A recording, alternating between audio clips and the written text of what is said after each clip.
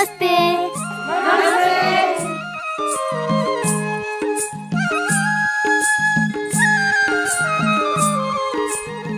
before World Vision intervention, uh, the people had very less knowledge and less concept about the group effort.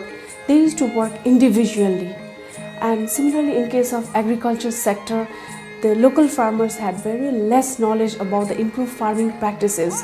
They used to apply heavy agriculture chemicals and pesticides in their farm the community people were less aware about the safe sanitation and clean hygiene practices at home. Because of this, uh, there used to be waterborne diseases like diarrhea and skin diseases used to be there. World Vision encouraged them to come into a group and move in a group.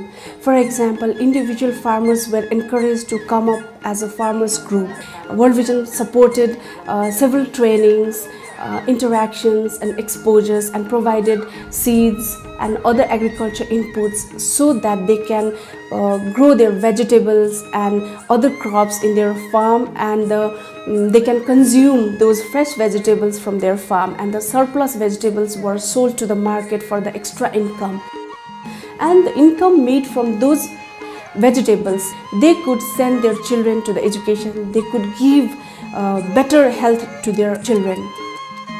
World Vision supported for the reconstruction or newly construction of water schemes for the toilet constructions so that the individual households can get better water facilities at their home. Now the community people are aware of about the safe sanitation and clean hygiene practices. Because of these, the incidences of diarrhea, waterborne diseases have been minimized. Therefore, they could save the money. So the saved money could be utilized for the um, better education and better health facilities for their children. The community people of Kathmandu ADP working areas have uh, achieved self-reliance and the children are growing more healthier and developing to their full potential.